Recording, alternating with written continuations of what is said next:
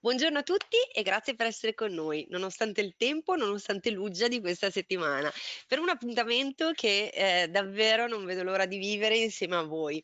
Parleremo infatti e il contenuto l'abbiamo tenuto un po' tra noi fino all'ultimo momento di Social Emotional Learning, che è una dicitura abbastanza nuova anche per noi, che ogni tanto si sente con l'acronimo SEL. Eh, e ne parleremo in particolar modo ehm, contestualizzata rispetto a quello che è il mondo di Google for Education e dei Chromebook. Quindi come prestare attenzione anche all'aspetto emotivo eh, della didattica eh, in, anche grazie agli strumenti che Google for Education e, e la G Suite ci mettono a disposizione. Eh, non ve lo spiegherò io però, ve lo spiegheranno gli ospiti di oggi che a breve vi presento. Prima di lasciare loro la parola però vi ricordo che ehm, il webinar ehm, insomma eh, è, è, caratterizzato non solo dalla parte video, non solo dalle voci, ma anche da delle slide che riceverete tra circa un paio di giorni. Così come, se ci state seguendo in questo momento, riceverete anche l'attestato di partecipazione. Eh, anche, anche, per quello ci vogliono circa un paio di giorni perché siete davvero tanti, davvero davvero tanti per invidiarveli, ci mettiamo un po'. Vi ringrazio ovviamente di questa presenza, ne sono onorata e vi, vi porto i ringraziamenti da parte di tutta Campus Store. Vediamo quindi cosa ci aspetta oggi. Allora, scusatemi. Nella giornata di oggi avremo uh, due volti che per chi ha fatto insomma Maker Fair con noi è, è stato in, una, in, quel grande calderone che è stata uh, l'ultima fiera in digitale ovviamente del 2020 ha già conosciuto uh, o, o, se siete appassionati insomma del mondo Google le conoscete sicuramente. sono infatti Deborah Ruocco e Melissa Giacosa che oltre ad essere docenti docenti nello stesso istituto comprensivo, che è l'istituto comprensivo di Val Varatella, una nella scuola primaria, una nella scuola secondaria di primo grado, sono anche appassionatissime del mondo Google. Eh, Deborah è certified trainer e, ehm, e, e, sono anche molto attive, devo dire, eh, sui social, nei vari gruppi.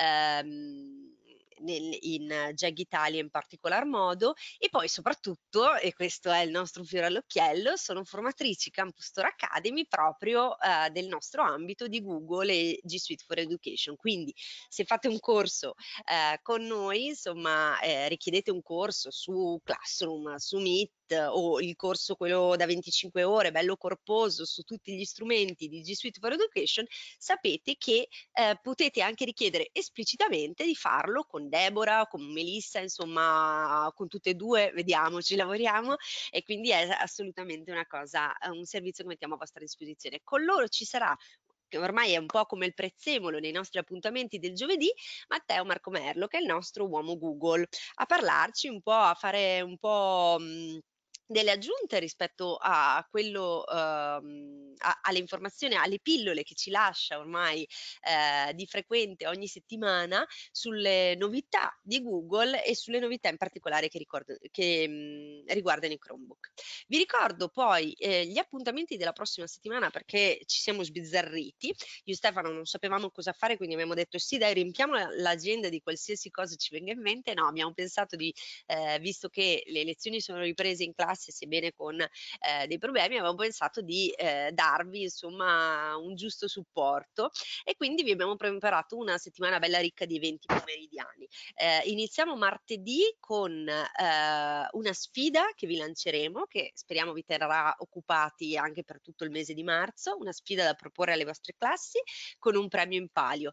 I, non vi rivelo troppo in questo momento, vi dico solo che i temi centrali del, dell'appuntamento in cui appunto vi presentiamo presenteremo questa possibilità così di gioco eh, e di apprendimento eh, ludico da proporre ai vostri studenti eh, saranno il pi greco ovviamente perché ci avviciniamo al pi greco day e il Dante D perché ci avviciniamo anche a quello in particolare in quest'anno in cui eh, in quest'anno così importante per uh, Dante Alighieri. Poi ci rivediamo mercoledì sempre alle 17 con il ehm, terzo, ho sbagliato, appuntamento di, eh, con Cody Rocky. E quindi eh, vedremo con uh, Anna ehm, una nuova lezione, un nuovo modo di fare lezione anche a distanza con Cody Rocking, quindi una lezione di coding principalmente ehm, in un, un, ambiente digitale che poi può essere applicato anche a un robot fisico, quindi sicuramente interessante.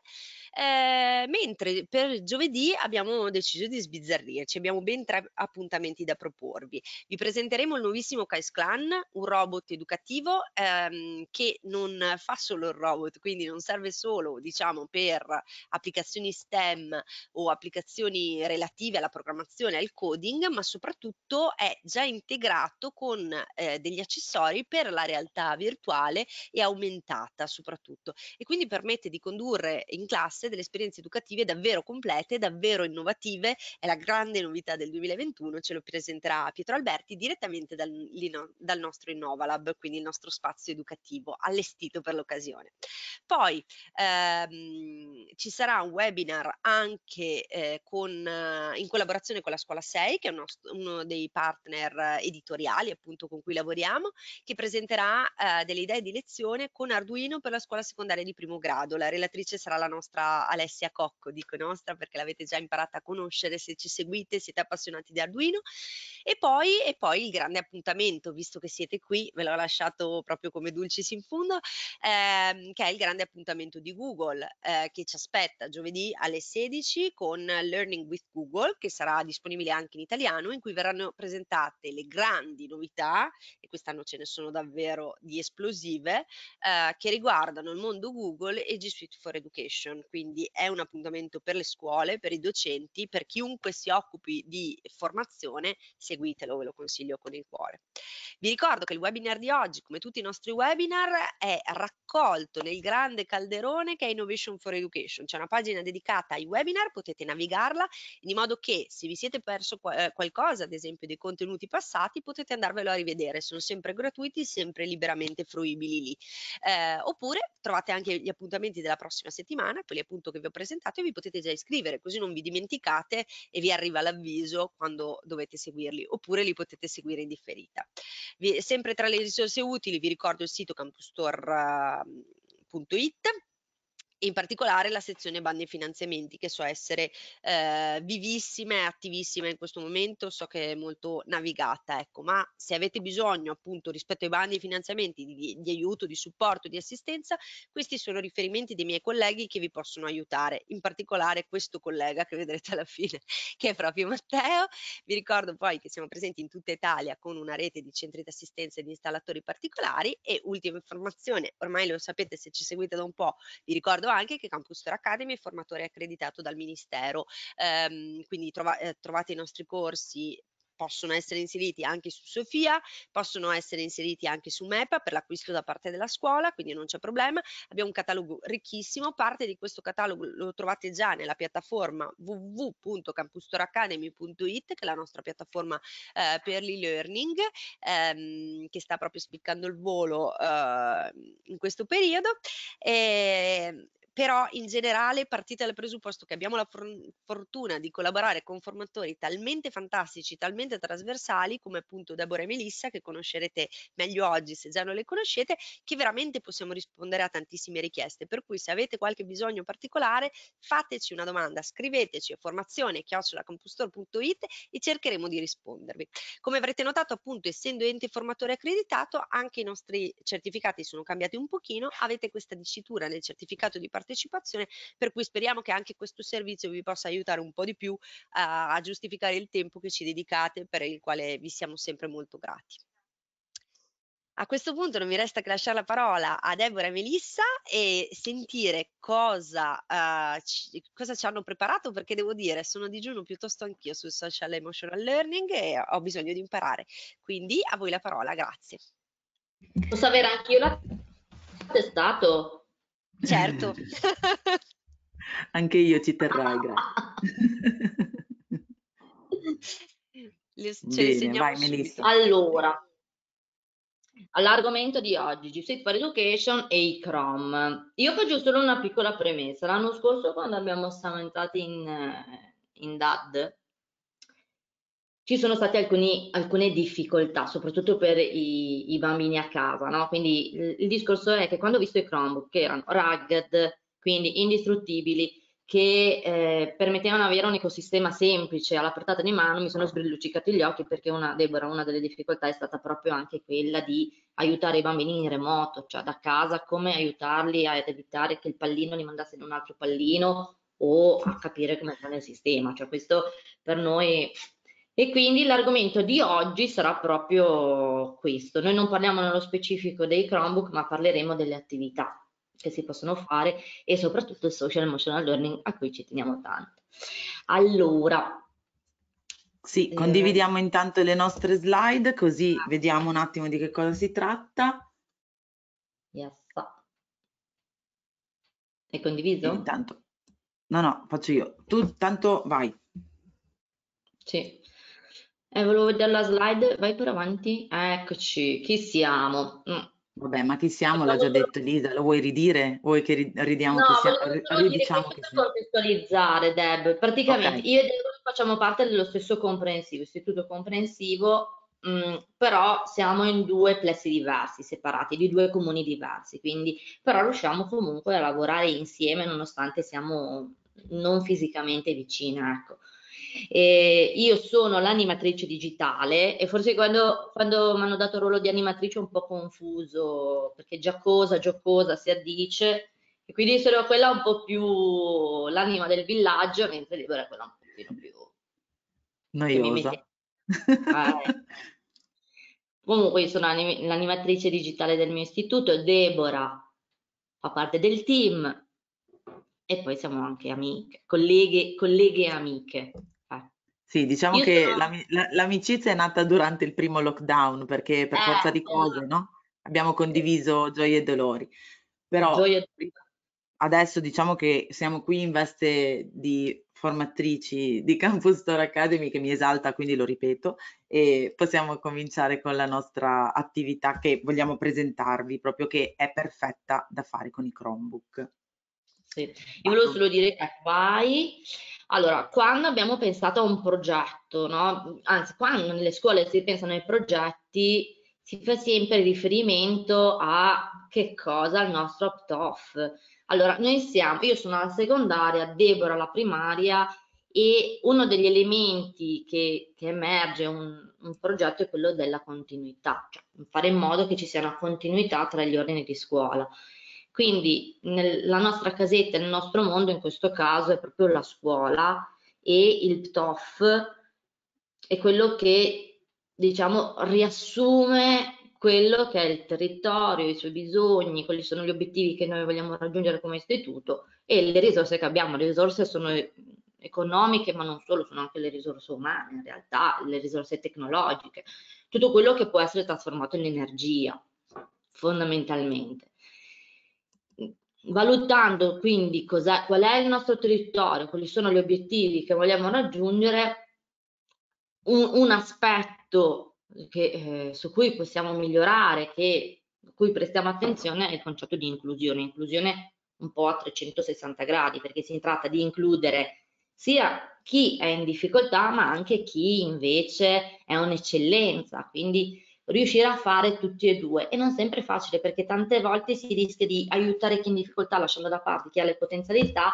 e viceversa. Abbiamo trovato nel SEL, quindi Social Emotional Learning, una risorsa. Io sono anche life counselor, quindi so quanto le emozioni siano fondamentali, ma non lo so perché lo dico io. Già negli anni Ottanta sono stati fatti degli studi ad Oxford in cui delle famiglie sono state analizzate, 100 famiglie, sono state, hanno fatto un esperimento, sono stati intervistati i genitori, è stata chiesta qual è la loro filosofia genitoriale, sono stati osservati i bambini nelle dinamiche di gioco e sono state fatte anche delle ehm, rilevazioni fisiologiche, no? sudorazione, battito del corpo, eh, battito del cuore, ehm, e, insomma sono emersi dei dati. Gli stessi sono stati confrontati con le stesse famiglie quattro anni dopo e ciò che è emerso è che i bambini allenati alle emozioni sono bambini che sono ben voluti dal gruppo, vanno anche meglio a scuola. Quindi tutto questo ci fa riflettere quanto sia importante l'aspetto emotivo anche nell'apprendimento. No? E poi per vivere meglio, perché lo scopo è anche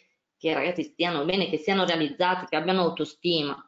Attualmente io e Debbie stiamo collaborando con il Centro Italia, è una startup, quindi di questo specifico non mostreremo le schede, però ci sono poi dei link al sito e anche a una pagina con alcune schede esempio. E abbiamo trovato una risorsa perché in America in realtà il SEL c'è già da tanti anni e hanno delle attività proprio strutturate, anche finalizzate per situazioni specifiche e sono formati gli insegnanti, perché anche l'insegnante deve essere allenato alle emozioni per poter allenare i bambini alle emozioni. Quindi eh, noi stiamo lavorando nei due comprensivi con questa startup, anche se negli anni abbiamo un po' lavorato con le emozioni, ma mai così proprio strutturato, cioè non è mai stata un'attività così strutturata. E come fare però a includere Tizio e Caio a fare emergere le emozioni? Noi abbiamo usato come ambiente la G Suite for Edu. Vado. Vai, vai, vai. Ci vuole un po' di tempo. Quindi, ok. Suite for Education come ambiente di condivisione. Adesso a brevi linee diciamo qual è il percorso, cioè come ci siamo noi figurati il percorso, ma non è un percorso di una giornata, ma è un percorso di anni, un anno e l'anno successivo, cioè noi lo vogliamo strutturare così. È una didattica blended. Cosa significa? È una didattica che prevede sia lezioni frontali, ma anche lezioni online sincrone e asincrone. Quindi sono tutte attività che possono essere... Il blending secondo me è la formula migliore perché ti dà tantissime possibilità, dove i ragazzi possono in autonomia guardarsi da casa un video, rispondere a una domanda, fare... Mm, poi in classe si può fare il confronto, se non ci si può vedere in classe ci si vede però su Meet. Quindi in realtà questa, questa, formula secono me è la migliore, almeno dall'esperienza per te, Deb, con i, con i bambini delle medie, con i piccini. Eh sì, esatto, questo voglio dire. Noi, eh, allora, no, nel nostro istituto diciamo che la scuola secondaria di primo grado aveva già usato questo strumento da anni e adesso mi metto no, nei panni dei genitori. Io da madre ho vissuto con mio figlio l'approccio a G Suite for Edu nel nostro istituto e ho visto i vantaggi da studente e da famiglia, ok? Quindi adesso con la possibilità che abbiamo avuto di integrarlo anche alla primaria, perché diciamoci la verità, quasi tutte le scuole prima del primo lockdown non aveva integrato, no? Eh, tu, non aveva dato tutti gli indirizzi, eccetera. Quindi noi non avevamo classroom prima del lockdown, adesso avendo tutti gli strumenti anche noi, oh, mi sto rendendo conto sempre di più che è una risorsa da sfruttare. Quindi vediamo il positivo no? in questa situazione comunque negativa e abbiamo visto come anche i bambini, comunque la mia classe è una terza primaria e quindi l'anno scorso erano in seconda, ho voluto testare eh, questi strumenti con loro e sono andati benissimo i bambini, nel senso sono riusciti benissimo con i dispositivi a loro disposizione e alcuni avevano comunque e hanno chiesto a Babbo Natale il Chromebook per colpa della maestra noiosa, però sono contenta perché vedo che riescono in autonomia veramente a produrre cose stupende per loro e per me. Sì. Quindi sì, mm, ma proviamo. infatti nel, diciamo che mh, mm, con i ragazzi quando in classe dico facciamo attività con eh, il PC, col computer, col Chromebook, quello che è, eh, loro sono contenti. Eh, gli piace, non so, evidentemente è un, un, un format che loro sentono vicini, è una novità, non lo so. Comunque tutto ciò che per loro è divertimento sicuramente è più funzionale che non una lezione dove si annoiano. Cioè, questo penso che lo sappiamo tutti. Sì, oltre al divertimento, sai cosa ci vedo anche? La um, interattività, proprio la loro, il protagonismo loro, no? Quindi loro che sono protagonisti del lavoro e che quindi eh, creano e sviluppano delle cose che poi è farina del loro sacco, cioè comunque è un frutto del loro lavoro e questo secondo me gli dà molta soddisfazione. Parlo dei piccoli, ma penso anche ai grandi, no? No, no, anche per i grandi. Guarda, io adesso la mia filosofia da un po' di anni è che il protagonista della lezione è l'alunno. Quindi quasi non faccio io lezioni, però sono, è come se io mi sentissi insomma, una guida, no? So che da qui voglio andare qui, però non ci sono io davanti, ci sono loro davanti e, qui, e gli dico andare andare nella direzione, non so, ehm, è un modo, è un approccio un pochino diverso, loro si sentono anche più partecipi. ci sono dei fallimenti, non dico che sia tutto spianato e semplice, però è una modalità che per me è diventata nel tempo comunque più, più efficace di altre.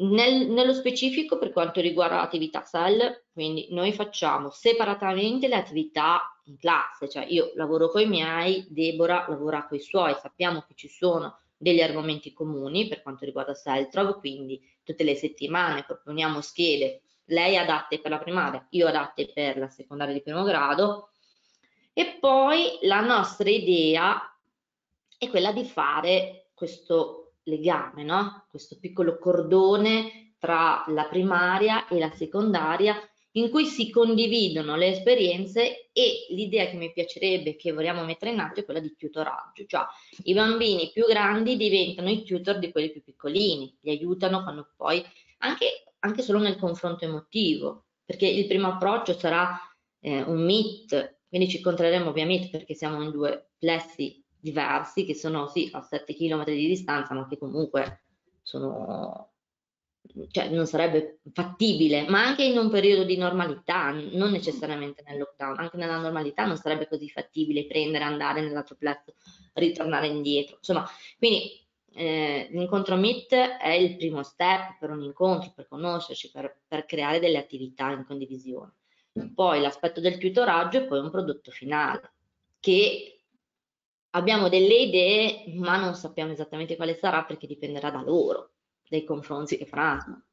Perché loro daranno il loro contributo, sia piccoli che grandi, quindi questi lavori diciamo che quando tu parti no, con il progetto hai un'idea e poi difficilmente rimane la stessa identica alla fine del lavoro, perché comunque grazie al cielo loro danno il loro contributo, è proprio questo l'obiettivo, no?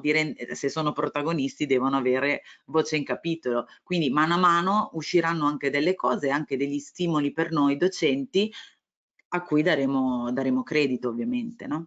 Esatto. Quindi, e per diciamo... questo motivo infatti noi abbiamo anche no, messo all'interno di questa presentazione proprio volevamo no, far capire come eh, proprio Google for Education e G Suite for Education è importante per ed è integrata anche in questa modalità un po' sell perché sappiamo no, che loro comunque in America sono già molto più avanti di noi in Italia ma non è un problema però mh, mhmm, condividiamo magari adesso, se sei d'accordo Melissa, un piccolo video giusto per far capire a chi ci segue di che cosa stiamo parlando in pratica, ok?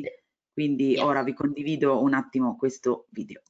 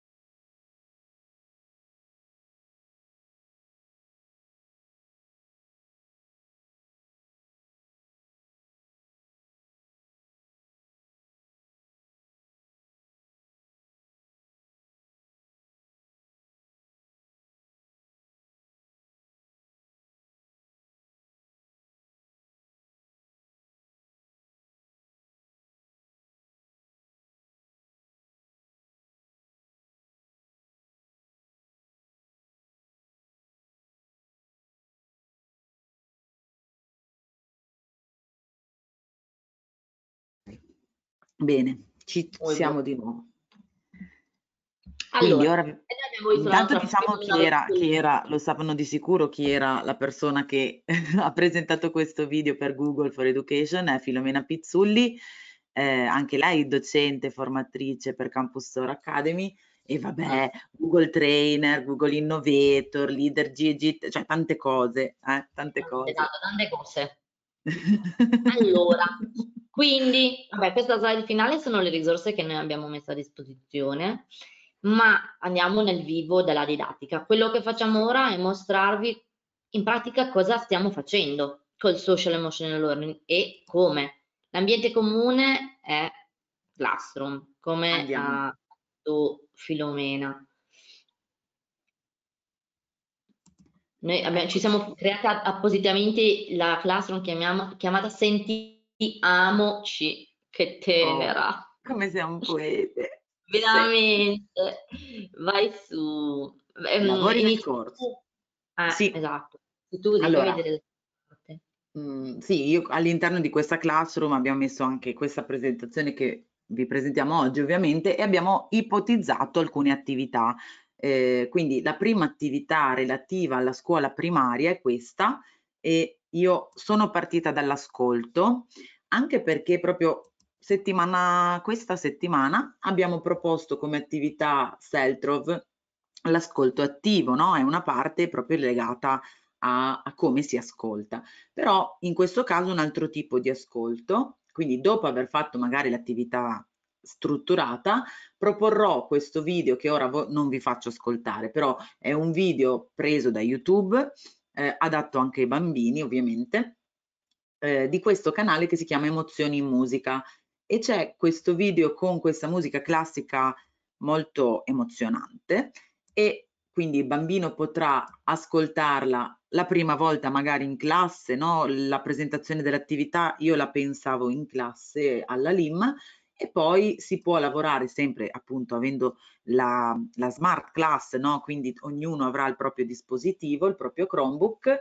loro potranno accedere alla propria Jamboard perché l'ho condivisa su Classroom in compiti eh, creando una Jamboard per ogni alunno, quindi ognuno potrà lavorare da solo in questo momento che è un momento privato, diciamo, e eh, usando gli adesivi oppure usando eh, se hanno il dispositivo con lo schermo touch usando il dito o la penna potranno nella pagina successiva mettere eh, su carta diciamo così su gem eh, la, le emozioni che hanno vissuto ascoltando questo video. Possono anche ascoltare il video con la Jamboard aperta, quindi potranno mettere un disegno, un'immagine, eh, delle parole, una frase e poi su questo lavoreremo anche insieme ai compagni eh, della scuola secondaria.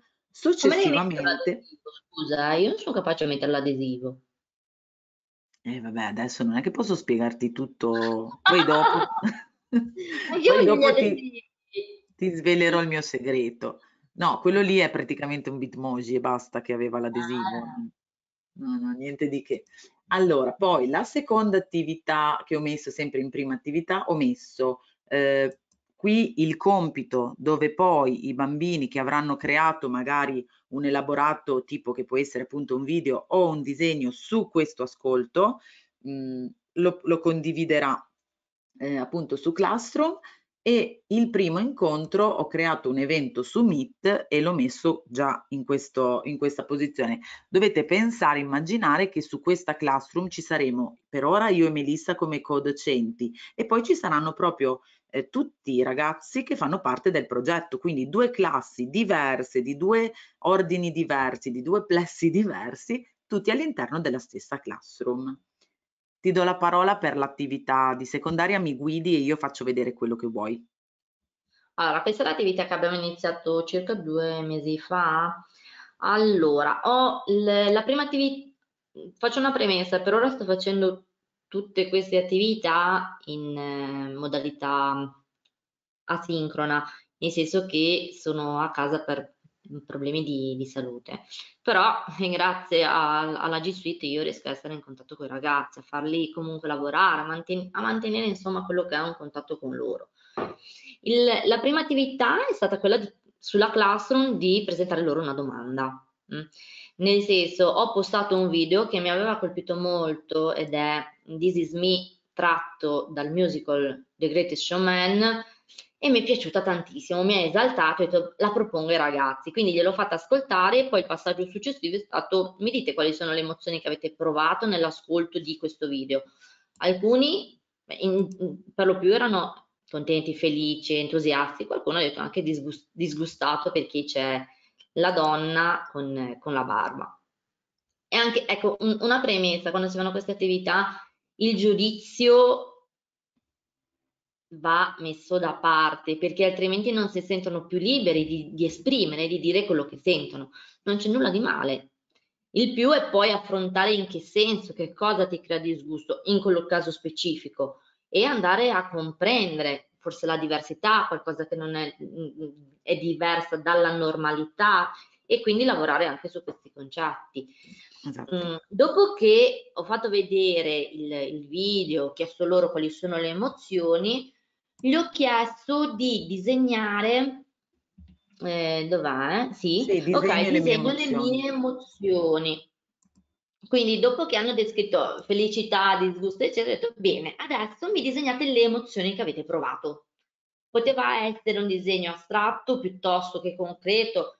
Certo, fare l'astrazione per loro è difficile, ma per me è fondamentale che imparino anche a lavorare sui concetti astratti, l'uso dei colori, i colori esprimono, le parole rappresentano, comunicano, l'elemento sul foglio comunica, dove lo metto, come lo metto, una linea spezzata comunica e quindi io ho lavorato su questo aspetto. Li lascio lavorare prima in autonomia, poi dopo quando c'è il confronto allora lavoro sul come e cosa. E dopo che hanno disegnato le emozioni ho eh, consegnato loro un altro lavoro, hai possibilità di aprirlo? Apro la traduzione del testo o o il compito? Okay. Sì, sì. Quindi ho creato un documento, l'ho condiviso con la classe in modalità visualizzazione, che non potessero quindi andare a toccare e spostare gli elementi, però che potessero o commentare o comunque entrare nei link, perché è un documento linkabile, una sorta, è un ipertesto. Quindi nella parte iniziale ho raggruppato sinteti sinteticamente quali sono le emozioni che hanno provato, quindi felicità, senso di grandiosità, libertà, eccetera. E nella parte sotto una piccola scansione di step, quindi cosa fare, quali sono i passi da fare adesso. E ehm, uno era quello di consegnare nella classroom il disegno sulle emozioni, di guardare sotto la traduzione che ho messo, quindi ho creato due colonne, in una ho messo alcuni screenshot fatti del video dall'altra la traduzione in italiano e ho chiesto loro di, mm, c'è il link alla Jamboard perché ho chiesto loro, bene, entrate nella Jamboard e mi descrivete un episodio personale in cui vi siete sentiti esclusi. Io ho iniziato per primo e ho scritto il mio episodio. Ora la Jamboard non l'apriamo, andiamo, uh, facciamo vedere invece il lavoro che hai fatto sotto. Esatto, loro quindi sono entrati e hanno raccontato, poi ho mostrato gli screenshot e mi è servito utile perché il lavoro successivo è stato quello di, ok, adesso mi disegni quel tuo episodio particolare, astratto o concreto, in cui tu ti sei sentito escluso. Quali sono le emozioni che hai provato? Rabbia, tristezza? Quali erano i pensieri? No? Ne sei uscito fuori? C'è stato qualcosa? E da lì il passaggio successivo che è servito a me è prendere spunto dalle immagini che ho, diviso, che ho condiviso con loro sul, bene, adesso anche sul disegno mi inserisce un elemento in più, che è il testo. Quindi una frase, per te è importante.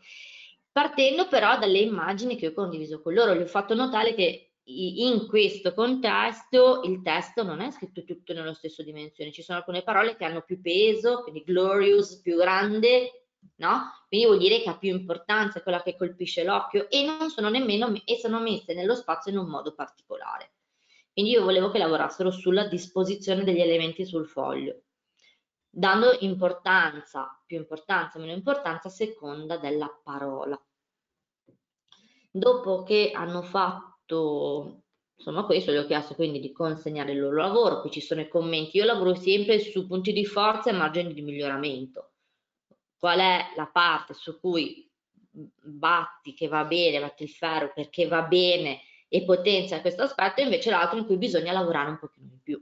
è il margine di miglioramento. Questo per loro è importante perché se gli si dice no, guarda 5, 4, non capiscono né il perché e, e si demoralizzano, dicono, ma allora eh. invece eh, ci sono delle regole, è chiaro, rispetto della consegna, pulizia del foglio, mh, mm, che vengano rispettate le regole che sono state impartite, foglio orizzontale, verticale, la tecnica, eccetera.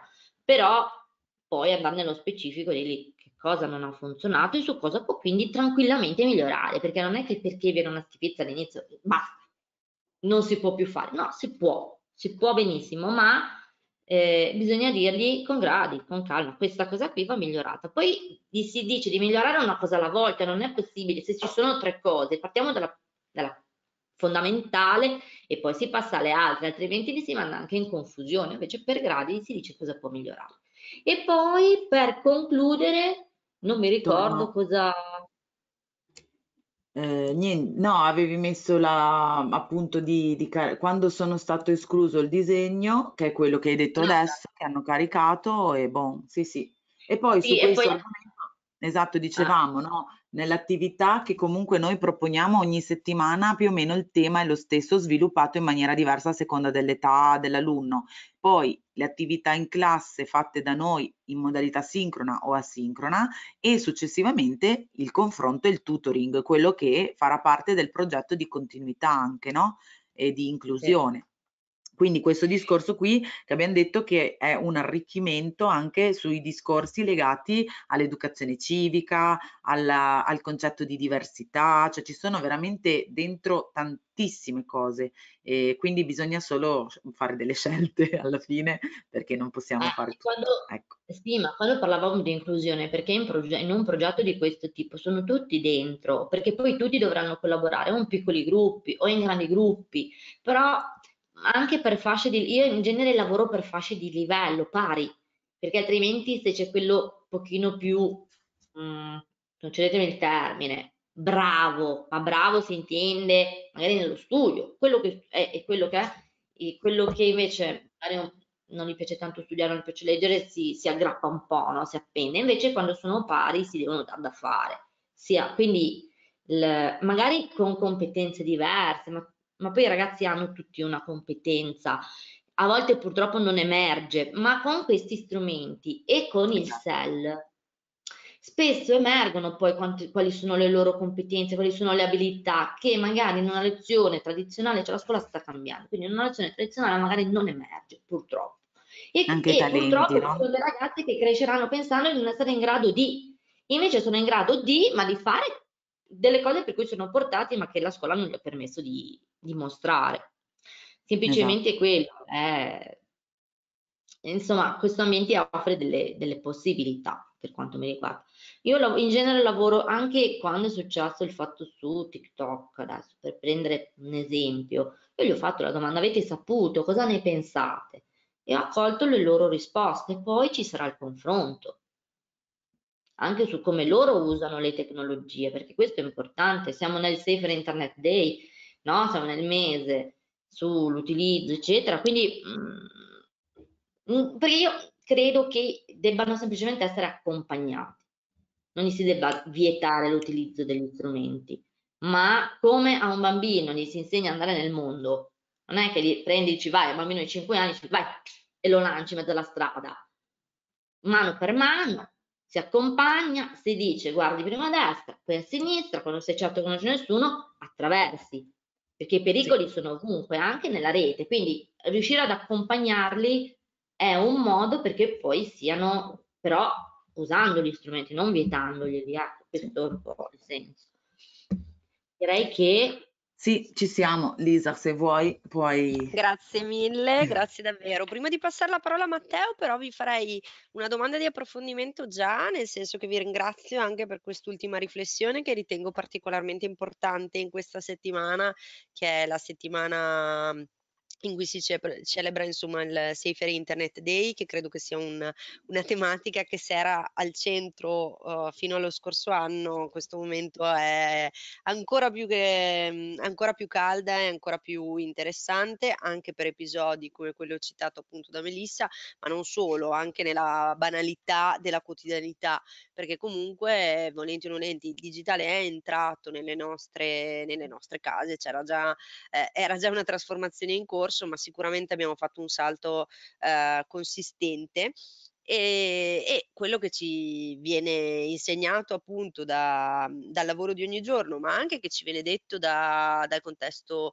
dal governo, dal, dal, contesto europeo, penso ad esempio a, alle indicazioni del Digicomp Edu o uh, similari, è il fatto che voi giustamente avete osservato, cioè che eh, la competenza digitale, il digitale non può più essere escluso, anzi ci viene detto la competenza digitale è ormai un alfabeto come può essere l'italiano di base, come può essere la matematica di base, a cui la scuola, eh, di, di, cui la scuola deve farsi carico nel trasmettere ai ragazzi, appunto, non solo una competenza che deve essere tecnica, ma come dicevate voi, proprio una competenza umana rispetto a eh. questo che è comunque una cosa che non puoi vietare, anche perché sennò poi diventa lo strumento proibito, che quindi io sarebbe il primo che eh, se fossi ancora studentessa sarei andata a prendere per in quanto proibito. E, e quindi no, si finisce delle, scusami, una delle otto chiavi europee sì. che viene valutata in uscita dalla terza media è la competenza digitale. Sono otto e una delle otto è la competenza digitale. Ma poi, nel senso, io, mio papà che ha i suoi 75 anni mi chiede mi aiuti a fare questo perché adesso il conto online, questo e quest'altro. Comunque eh, nella, nel quotidiano avere dimestichezza col digitale aiuta. Semplicemente il cittadino ormai è chiamato a utilizzare il digitale. Sì, sì, eh sì. sono d'accordo. Però vi chiedo una cosa rispetto a questo. Eh, voi avete fatto ovviamente una, un approfondimento molto interessante sul, sullo sviluppo emotivo che ehm, su cui state lavorando. Allora vi chiedo quanto ha pesato eh, l'ultimo anno da un punto di vista emotivo in questa scelta di progettazione che avete fatto e quanto pensate sia eh, importante lavorare anche su questo aspetto che in, che in passato veniva definito quasi soft, quasi una cosa trascurabile, ecco. Mm, allora. Io fa, allora, è noi, questa la domanda. Intendi sul social emotional learning? Sì, esatto, esattamente. Quanto può aver pesato il, quanto possono aver pesato più che altro i mesi di lockdown, questo tipo da un punto di vista emotivo, ecco. Eh, mh, mm, sono stati, allora io lo parlo per, mh, mm, allora, lo, lo, parlo dal punto esperienziale, mio, da adulta. È stato un anno eh, difficile, dove però sono emerse tantissime risorse, cioè è come se nella difficoltà emergesse poi emergessero delle capacità che altrimenti non sarebbero emerse. Però è stata dura poi, immagina la solitudine, almeno nel mio caso, poi io ero anche eh, solo a casa col mio cane per fortuna, e, però mh, non è stato semplice dal punto di vista emotivo psicologico. Quindi immagino certo. anche i ragazzi che sono, e sono un'adulta, quindi immagina i ragazzi che invece sono tutta energia, sono energia pura, che hanno voglia di uscire, di confrontarsi, di, di stare con i loro coetanei no? Ma anche il, il semplice fatto di dover stare sempre con i genitori, ma anche per i genitori stessi, ma io non lo so, tu già sei mamma, quindi... non si vede. 24 ore su 24 no, No, sì, sono stati, sono, allora, noi adesso ci rendiamo conto, dopo, io essendo la primaria, noi siamo stati a casa mai, quest'anno solo una settimana purtroppo per una quarantena fiduciaria, però mh, ci siamo proprio resi conto adesso, no, a fine di primo quadrimestre abbiamo tirato un po' le somme e ci siamo resi conto che questi bambini comunque fanno vedere quello che hanno vissuto nell'anno passato. E quindi io sono ben contenta di aver iniziato a lavorare su, questi, su questa tematica con, queste, con questi strumenti proprio perché vedo quanto bisogno ne abbiamo noi e loro. Perché non è vero che abbiamo perso un anno come tanti dicono io non sono d'accordo con questa frase però è vero che abbiamo perso delle cose, quello sì, e, e, quindi dobbiamo lavorarci, dobbiamo lavorarci. Ci avremmo dovuto lavorare comunque, ma adesso qualche ferita c'è, soprattutto su quelle, in quelle situazioni fragili già di partenza. io avevo tante situazioni già fragili in partenza e durante il primo lockdown comunque avevo il pensiero di dire chissà cosa succede in quelle case in questo momento in cui non puoi uscire di casa. E quindi sì, ci sono e non dobbiamo nasconderlo e il nostro compito è educativo prima che didattico, quindi si, si, si lega tutto, è, è, è veramente una risorsa stupenda, capito? e, e boh, vedremo. Ma noi non avessimo avuto, noi coi dimitici, quante volte ci incontravamo al giorno? Cioè io, benché fossi sola, non ero sola perché ero sempre quindi sentivo il team, io, Debra, poi la nostra Paola, un'altra formatrice Campus Store, però che Mm, adesso è alla secondaria eh, di secondo grado, però eravamo il trio, quindi ci incontravamo. Un gruppo di, suppo- di, auto, di, auto, di autosoccorso proprio siamo stati. Eh, un po' come, come noi eh, ci siamo ingegnati per fare i webinar, anche per sentirci un po' meno soli, insomma, eh, sì, dire creiamo una comunità, quindi sì, nel piccolo, nel grande, sicuramente il digitale ci ha aiutato a sentirci un po' più umani, forse. Però, eh. no, grazie, grazie per questo spunto di forte emotività, devo dire, che normalmente uno magari pensava sono qui a sentir parlare di Google, a sentir parlare di Chromebook, invece eh, questo dar spazio alle emozioni credo che sia il grande valore aggiunto di oggi. Io vi chiederei di rimanere qui collegate così eh, mm, per, per, i saluti finali, eventuali domande e passerei nel frattempo la parola a Matteo che eh, immagino che abbia scaldato i motori e sia pronto a collegarsi con noi per raccontarci qualche novità. Grazie ancora. Eccomi Ciao qui. Matteo. Ciao, ciao a tutti. Eh, mostro il mio schermo. Ringrazio Deborah e Melissa per eh, sicuramente gli, gli, spunti interessanti e, e, di valore che hanno condiviso con, uh, con tutti noi. Ehm, io diciamo eh, farò vedere un po' più una parte tecnica, vorrei un po' calare nel, eh, nel dettaglio un piccolo aspetto dei Chromebook dal punto di vista della gestione poi eh, della scuola fondamentalmente, ma anche, ma anche delle famiglie.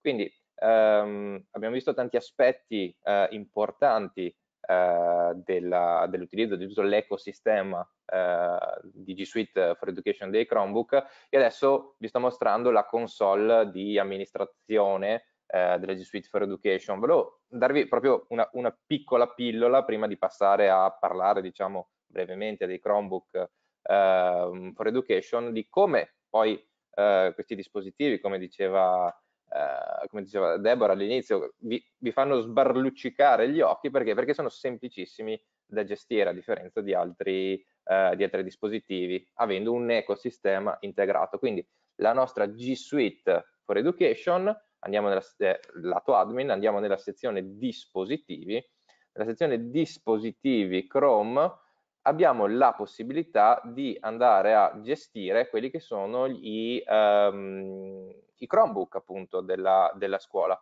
Questo si fa grazie a che cosa? Ad una licenza che si chiama Chrome Education Upgrade che lega quello che è il, eh, il Chromebook della scuola al dominio della G Suite della scuola. Quindi qua in alto a destra potete vedere la sezione di upgrade, questa è la nostra console di eh, di prova, di demo, dove giocherelliamo allegramente, vedete quindi ci sono degli upgrade disponibili. In totale, in questo caso ne abbiamo 30, quindi questo corrisponderà a diciamo, l'acquisto di eh, 30 Chromebook con, con, licenza. È importante sapere dove sono perché per poi diciamo, collegarli, quindi registrarli nel, nel, dominio scolastico, li devo avere disponibili. Quindi se li avete acquistati da noi con licenza e non vedete perché eh, ci mancano dei dati che vi, vi chiediamo sempre al momento della, della, consegna. Quindi dove vedo se ho le licenze disponibili? Nella sezione upgrade dentro dispositivi Chrome. Vi lascio guarda, veramente una pillolina,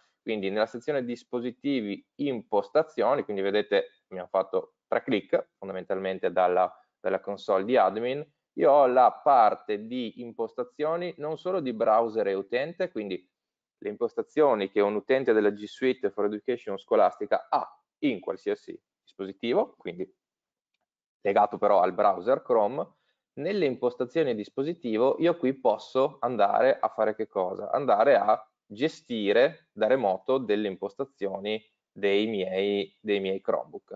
Quindi andando, guardate, scendo brevemente, volevo farvi vedere questa, questa sezione qui, io qui posso dire che cosa? Di eh, consentire l'accesso ai miei Chromebook solamente a chi? A un elenco di utenti o addirittura al solo dominio scolastico, mettendo semplicemente asterisco, chiocciola, adesso lo chiamiamo IC eh, 86 come il mio anno di nascita, roma.edu.it e quindi quando io accederò al Chrome, quindi tiro su il coperchio e parte, potrò fare accesso solamente se faccio parte dell'IC86 roma.edu.it, quindi blocco fondamentalmente l'accesso ad altri utenti. Posso bloccare la modalità ospite, quindi non posso entrare se non sono, diciamo, eh, autenticato come eh, utente della mia G Suite scolastica e quindi tutte le impostazioni che sono state decise dagli amministratori, animatori digitali, chi gestisce la G Suite scolastica, si vanno a ripercuotere, eh, eh, non, non, si vanno a ripercuotere nella modalità ospite. Se io la, la limito, quindi la tolgo, entrerò solamente con i miei account scolastici. Una cosa interessante, diciamo, dal punto di vista tecnico, e poi passo, diciamo, a, a delle slide, è che queste impostazioni, diciamo, queste limitazioni di accesso, che non sono delle limitazioni, ma io le vedo più come delle, eh, delle opportunità di tenere eh, sotto controllo ehm, quello che fanno i nostri studenti, citavate prima TikTok e, e, e social media in, in generale, però l'utilizzo del mio dispositivo può essere anche ehm, non solo limitato con le impostazioni della scuola, ma posso aggiungere una serie di orari, non so, dico che dal lunedì al venerdì eh, dalle 8.30 alle 17.18 lo posso utilizzare solo con l'account scolastico, mentre in altri orari lo posso la lasciare libero e quindi utilizzarlo con account gmail.com.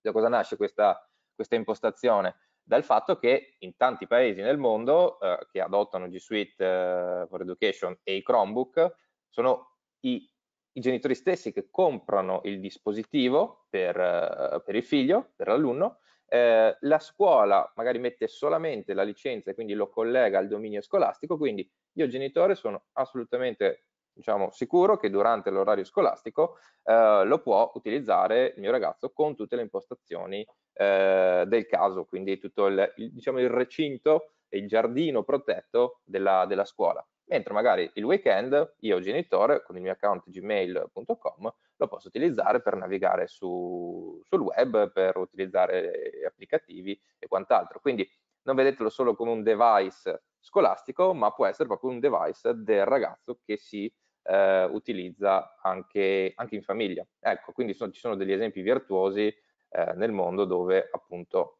eh, viene comprato dal, ehm, dalla famiglia in, insieme alla scuola. Quello che invece volevo presentarvi brevemente eh, è sempre eh, diciamo, il concetto di, di, Chromebook for Education. Eh, quindi dispositivi, come diceva Deborah, ehm, diciamo, io li chiamo da, da battaglia, sono dispositivi ehm, resistenti, sono dispositivi che posso dare in classe, posso metterli nello zaino, sono principalmente diciamo nella, in education, eh, sono dagli 11 ai 14 pollici, leggeri con una batteria che dura tantissimo e si avvia in pochi secondi. Ma la parte importante è che sono condivisibili, quindi eh, io eh, comando diciamo, le impostazioni attraverso l'account della mia G Suite scolastica. Quindi posso entrare io come Matteo, può entrare Deborah, può entrare Melissa, ognuno avrà delle impostazioni e degli applicativi che si, che si impostano nella console di admin che abbiamo visto prima, ehm, ma dallo stesso dispositivo in maniera molto molto semplice. Um, quello che vi dicevo uh, è uh, la, la, parte importante che diciamo segna lo spartiacque tra un Chromebook e un Chromebook for Education è la licenza perpetua Chrome Education Upgrade. Cosa significa? Significa che io posso appunto registrare il mio Chromebook nel dominio scolastico e diciamo ehm, gestirlo da remoto, quindi non devo avere sotto mano i miei, i miei Chromebook, ovviamente in didattica a distanza posso, devono, sono stati a casa dei, degli alunni, ma io come amministratore posso ad esempio bloccare i dispositivi usati solo nel dominio della scuola. Avete visto, tre clic, dominio scolastico e sono a posto. e eh, come vi dicevo anche diffondere tutte quelle che sono le impostazioni e le policy di sicurezza. Ehm, quindi posso gestire, distribuire e andare a semplificare quello che è mio, ehm, la mia gestione dei dispositivi. Per farvi un esempio, adesso uh, di dispositivi che noi abbiamo disponibili in pronta consegna, un esempio è il, um, il Lenovo Chromebook 100e. Allora, io adesso ce l'ho qui in mano, magari lo vedete dalla webcam piccolina, uh, i bordi sono rinforzati, quindi sono gommati e resistono a delle cadute altezza, diciamo 75 cm, un banco fondamentalmente.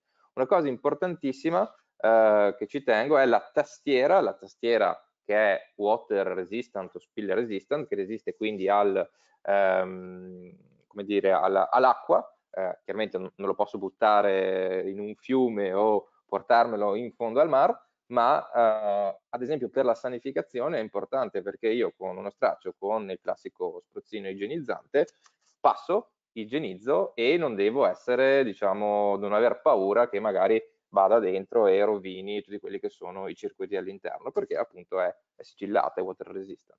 Ehm, quindi vi lascio uh, poi chiaramente le, le, la presentazione, le slide con i dispositivi che abbiamo disponibili in pronta consegna, vedete c'è il Lenovo 100E di seconda generazione, eh, o il 14E, questi sono diciamo i due dispositivi eh, che vanno per la maggiore, uno come dicevo resistente eh, porta portabile, economico e, e quindi da, da, zainetto e da battaglia, mentre magari il, il docente o se si hanno delle esigenze specifiche c'è anche il modello 14E che ha lo schermo da 14 pollici, quindi un pelino più grande, ma contiene sempre, diciamo, ha sempre un design leggero e portatile, non è il classico uh, dispositivo pesante che non sta neanche nel banco a volte e quindi anche nello zainetto poi portarlo in giro diventa, eh, diventa, mm, diventa, un peso in più per i ragazzi nelle, nelle, spalle. Quindi vi lascio tutto quanto, i codici, vedete i prezzi, vedete le caratteristiche, mentre l'ultimo che Chromebook che vi, che vi volevo segnalare eh, è il Chromebook 300e che è un Chromebook touch, quindi ha lo schermo che si piega a 360 e lo posso utilizzare chiaramente sia con il dito che con dei pennini eh, specifici eh, e questi magari possono essere interessanti per ragazzi o che hanno delle difficoltà o che, o ad esempio, se avete esigenze di utilizzare Jamboard, come ha citato prima, hanno citato prima Deborah e Melissa, con il pennino e quindi nel mio dispositivo lo utilizzo anche per disegnare fondamentalmente come se avessi una tavoletta grafica. Eh, io penso che da mia parte, Lisa, sia stata No, non voglio aggiungere altro, quindi vi lascio, vi lascio solamente queste, queste, slide e anzi sono aperto a tutte le domande insomma, che, che vorrete farmi. Ah, mi è piaciuta sicuramente la tua citazione della sirenetta eh, e non c'è dubbio rispetto a questo, quindi no, grazie invece per aver, noi non lo, mm, non lo facciamo mai notare, però è questo forse l'aspetto più importante in questo momento, al di là del RAGD che prima, come giustamente dicevano nella prima presentazione, ovviamente eh, è utile in, in, contesto scolastico non solo quando si ha a che fare con i piccoli, ma anzi perché comunque eh, richiedere una certa resistenza indipendentemente dal dispositivo, insomma può essere fondamentale in contesto scolastico, ma di questi tempi anche e soprattutto se presti le risorse è bene poterle sanificare, è bene poterle igienizzare nel passaggio da uno studente all'altro. Avere quindi un dispositivo che permette di, eh, diciamo, sia un po' resistente ai liquidi, eh, permette di poter fare questa cosa con una certa eh, leggerezza e non doversi preoccupare del, del, mhmm, di quello che accadrà, insomma, anche se magari il personale non è stato avvisato e così via, quindi di eh, prolungare la durata dei dispositivi. Per chi lo chiede, che dice, allora, i dispositivi eh, mostrati da Matteo, alcuni sono in pronta consegna, altri in arrivo in tempi brevissimi, comunque in generale abbiamo una pagina ehm, aggiornata sempre sul sito con i dispositivi disponibili, tra l'altro eh, vengono anche condivisi nei, nel gruppo Facebook dedicato ai PON proprio, eh, che è un gruppo molto attivo su Facebook, ai PON e ai finanziamenti e aggiornati periodicamente, perché ovviamente è un anno anomalo, quindi è un anno che ha portato sì tanti Chromebook, tanti altri dispositivi nelle scuole e ovviamente questo ha un pochino cambiato gli equilibri. Per cui vi consiglio, ecco, questo da parte mia, visto che stiamo parlando di dispositivi, di verificare sempre se vi interessa un particolare dispositivo che tempistiche di arrivo ha, insomma, se è disponibile e puntare più su quelli disponibili. Tanti, tanto ce ne sono migliaia di disponibili, ecco. Eh, Matteo, voglio sentire un tuo parere. Eh, conoscevi il social emotional learning? Tu che sei uomo tech o no? E cosa, cosa ti è rimasto più impresso dell'incontro di oggi? Oh, grazie Elisa che mi fai sempre queste domande così un po' traccobetto per citare i Gunnis. Ehm, allora, sì, sicuramente ehm, l'ho sentito diciamo come, come, acronimo, quello che mi è rimasto ehm, cos'è? Ehm, è quello che è ehm, il non l'importanza del, contatto umano e l'importanza di quello che ci siamo persi durante il lockdown. Abbiamo rimediato in qualche maniera con, uh, con, uh, con l'utilizzo di tante piattaforme, con l'utilizzo di, uh, di, strumenti, per la maggior parte la G Suite for Education soprattutto, però mh, mi è piaciuto come la, la parte digitale eh, voglia sempre tendere la mano alla cosa più importante che è il contatto umano e che soprattutto per i più piccolini eh, è fondamentale, quindi sicuramente hanno perso eh, una parte importantissima ehm, dello stare a scuola, del, dello stare insieme, però mh, vedo che c'è stata una reazione eh, dei, dei, docenti e delle scuole e Deborah e, e Melissa ce l'hanno fatto vedere eh, dell'utilizzo del digitale per diciamo, toccare la mano attraverso Meet o attraverso la G Suite. Ecco.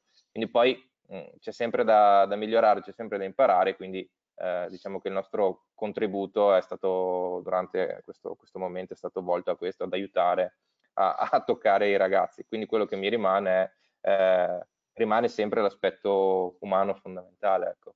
E mi piace come, come è stato affrontato da, dalle nostre due fantastiche formatrici.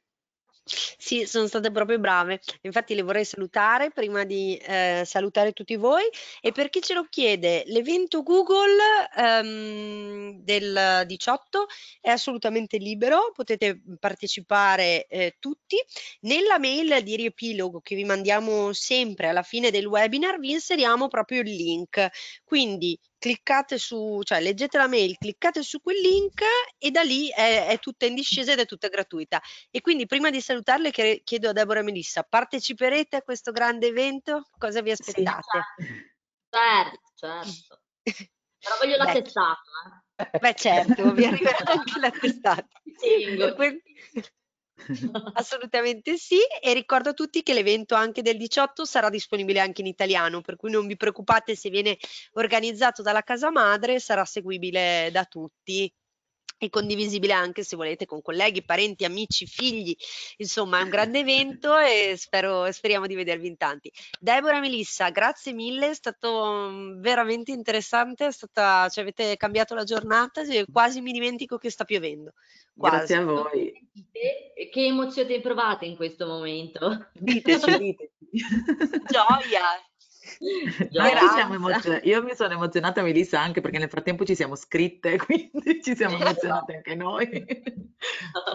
State molto brave. Grazie mille, grazie di cuore. Grazie a tutti. Grazie a voi. Ciao. Ciao, a presto. Ciao, ciao a tutti. Ciao.